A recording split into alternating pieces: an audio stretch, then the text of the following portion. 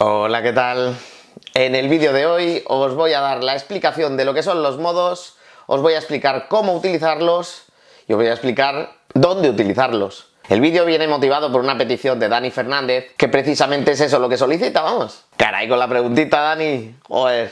Obviamente esta preguntita no va a ser respondida en un solo vídeo, porque es muy complejo el tema este. ¿eh? Es un tema tan complejo que requiere de unos ciertos conocimientos previos. O sea, ya os digo que los que sois muy principiantes os vais a perder. Pero bueno, no está de más que le echéis un vistazo al vídeo porque también voy a tocar conceptos un poco más básicos de teoría para poder llegar hacia los modos y voy a intentar explicarlos lo más básicamente posible para que cualquiera de vosotros por lo menos sepa de qué van los tiros.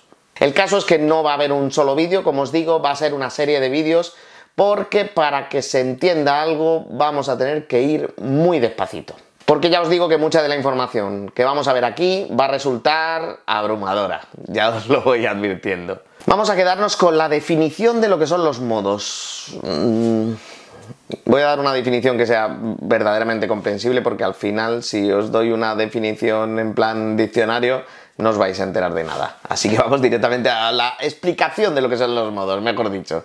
Los modos griegos son parte de una sola escala, la famosa escala mayor, do, re, mi, fa, sol, la, si, la de toda la vida, que luego obviamente la podemos transportar a diferentes tonalidades, pero vamos, la escala de siete notas que tenemos en Occidente, que en la escala de do mayor coincide con las notas blancas de un piano. Do, re, mi, fa, sol, la, si. Sabéis que, como he dicho en otros vídeos, os pongo aquí una tarjetita. En Occidente tenemos 13 notas musicales que son las 7 notas naturales y las 5 alteraciones, sostenidos y bemoles. Para más detalles, la tarjetita que os acabo de señalar. Pues esta escala mayor, o la escala diatónica, puede ser interpretada de 7 maneras diferentes, pero estamos hablando siempre de la misma escala. De la escala mayor se pueden derivar en una primera instancia los 7 acordes de tríada que componen esa escala, si vamos un poquito más allá, tendríamos los siete acordes de séptima, los arpegios de séptima que corresponden a esta escala, y si vamos un poquito más allá, tenemos los siete modos griegos que corresponden a esta escala. En definitiva,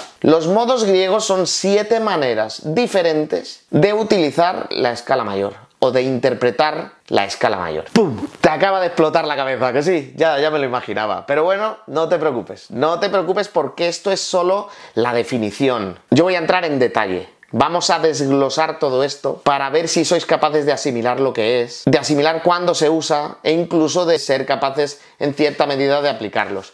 Aunque en este último punto no voy a ser muy capaz porque ya os digo que yo mismo no soy un músico que haga mucho uso de los modos. Sí lo hago, pero no como lo harían otros músicos mucho más experimentados. Aún así, como tengo ciertas nociones de cómo son y cómo se hacen, pues voy a compartirlo con vosotros. Y luego incluso si veo algún vídeo que me parezca que lo aclara aún más o lo que sea, durante esta serie de vídeos voy a facilitároslo. Además el encuadre este que he escogido no es ninguna casualidad, ¿eh? Aquí detrás podéis ver que tengo un montón de discos.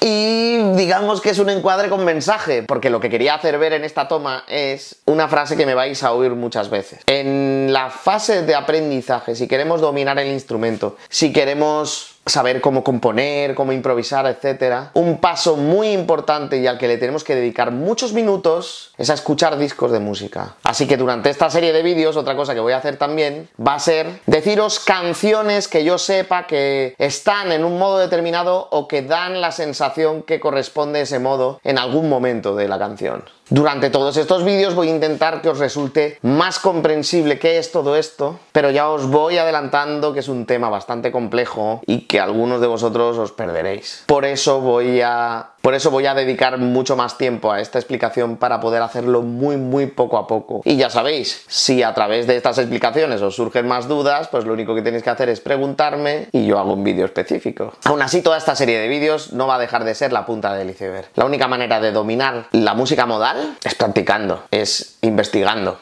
como veremos más adelante, vamos. Pero bueno, Tomad este vídeo como punto de partida o como parte de esos muchos vídeos que vais a tener que ver para comprender perfectamente en qué consiste este tema de los modos. Lo que sí voy a hacer es invitar a mi hermano y algún amigo a ver si en el último vídeo que creemos de toda esta serie pueden venir y hacemos una tertulia hablando de los modos, que seguro que teniendo varios enfoques os resulta mucho más sencillo comprender de qué va todo esto. Porque al final entenderlo no es lo complicado, vais a poder entender perfectamente qué son y cómo se hacen. Por supuesto, no va a ser nada nada complicado tampoco aprendernos las posiciones donde podemos hacer cada uno de los modos. Pero lo que realmente es complicado es dominar cómo y cuándo usarlo. Sin experimentación por vuestra parte va a ser realmente complicado. Además de tener en mente lo que son los modos, que ya os he explicado que son siete maneras diferentes de interpretar la escala mayor, tened esta frase en mente. Para que una melodía suene al modo que estamos pretendiendo sugerir, tendremos que utilizar su intervalo de séptima y la nota que le hace especial. Decís, jo, David, no entiendo nada. Vale, no pasa nada. Todavía no tenéis que entender nada, no os preocupéis. Pero estas dos frasecitas os la tenéis apuntaditas en un papel porque durante toda esta serie de vídeos vais a poder ir viendo cómo recurro continuamente a ellas. Así que digamos que los dos pilares fundamentales de lo que vamos a ver en estos vídeos son esas dos frases. Y ahora guitarra en mano veréis el porqué. Bueno, que sepáis que en su momento los famosos modos, que se denominaban modos griegos, no se llamaban como los llamamos ahora, vamos. En la Edad Media se basaron exactamente en estos mismos modos, les cambiaron la nomenclatura y pasaron a ser más parecidos a lo que tenemos en la actualidad, pero seguían sin ser exactamente los mismos modos que manejamos en este momento. Así que los modos ni son griegos ni son eclesiásticos, como oís por ahí, por lo menos no exactamente. En la música occidental actual, sabéis que por norma general las canciones están en modo mayor o en modo menor. Por lo tanto, podríamos decir que por norma general la música nuestra, la música, sobre todo la música pop, etcétera, el uso que hace es de dos únicos modos en lugar de los siete que estamos hablando. Pero vamos, nunca han dejado de utilizarse el resto de los modos. A lo mejor en las composiciones eclesiásticas de la Edad Media era mucho más habitual componer en los diferentes modos. Pero vamos, también en esa época digamos que la escala mayor y la escala menor eran las escalas pop, por así decirlo. Hoy en día hay un montón de grupos de diferentes estilos que hacen uso de los modos. Por supuesto, en la música clásica también se hace uso de los modos y muchísimo también en el jazz. Es más, yo creo que los experimentos modales más maravillosos que puedes escuchar suelen ser música jazz. Algunos de estos giros modales no se dejaron de utilizar en su momento, siguen utilizándose en la actualidad, aunque es cierto que en la música popular nos lo encontramos menos o nos los encontramos en un muy segundo plano, predominando muchísimo la escala mayor y la escala menor, que como vamos a ver ahora también pertenecen a estos siete modos modernos. En la cuestión de para qué se utilizan, os podría decir que básicamente se utilizan o bien para modular, sabéis, modular es cambiar la tonalidad en una canción, o temporalmente o hasta el final de la canción, vamos. Entonces nosotros podemos hacer el empleo de los modos para avisar de este cambio. Cuando entremos más en harina os lo explicaré con la guitarra. También hay canciones que se basan en un modo determinado. Y entonces digamos que igual que las canciones que están escritas en modo mayor o con la escala mayor son alegres y las canciones que están escritas en modo menor son tristes, digamos que utilizar un modo determinado para que sea el centro tonal de nuestra canción va a provocar una sensación distinta a la que provocaría el hecho de que estuviéramos utilizando sencillamente modo mayor o modo menor. Si has escuchado mucha música, incluso de una manera inconsciente, podrías estar haciendo uso de algún otro modo. Entonces, como os digo, que la escala mayor da sensaciones alegres y la escala menor da sensaciones tristes, ahora ya os puedo revelar que la escala mayor corresponde exactamente con el modo jónico y que la escala menor corresponde exactamente con el modo eólico. Así que como veis, el modo mayor y el modo menor sencillamente son dos de los siete modos que hay. Mayor alegría, menor tristeza y luego tenemos el resto de los modos. Estos siete modos serían jónico, dórico, frigio, lidio, mixolidio, eólico y locrio. La cosa es que, por ejemplo, vas buscando definiciones y ves que en el modo frigio la sensación que produce es misterioso, amenazador, psicodélico, que el modo lidio es espacial, exótico, soñador, brillante, que el modo mixolidio es campestre, veraniego, que el modo eólico, que sería nuestra famosa escala menor, sería melancólico, triste, y que el modo locrio es algo oscuro, enojado. Pero vamos, al final son sensaciones tan subjetivas que bueno, que le podemos dar esas definiciones o otras tantas que nos evoque a nosotros mismos. Pero sí que es cierto que hay modos que son más alegres y más tristes, o más satánicos, entre comillas.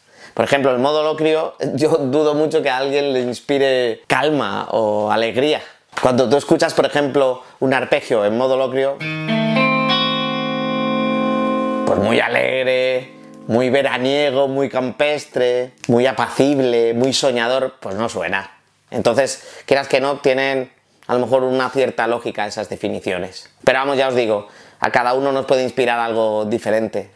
Entonces, ¿por qué usar los modos? Pues tan sencillo como para crear sensaciones diferentes que no sean tan sencillas como los sentimientos alegre y triste y que nos alteren un poquito más la sesera y que nos hagan más atractivo lo que estamos escuchando, que muy probablemente ya estamos cansados de escuchar lo mismo una y otra vez, sobre todo si nuestro estilo favorito es el reggaetón.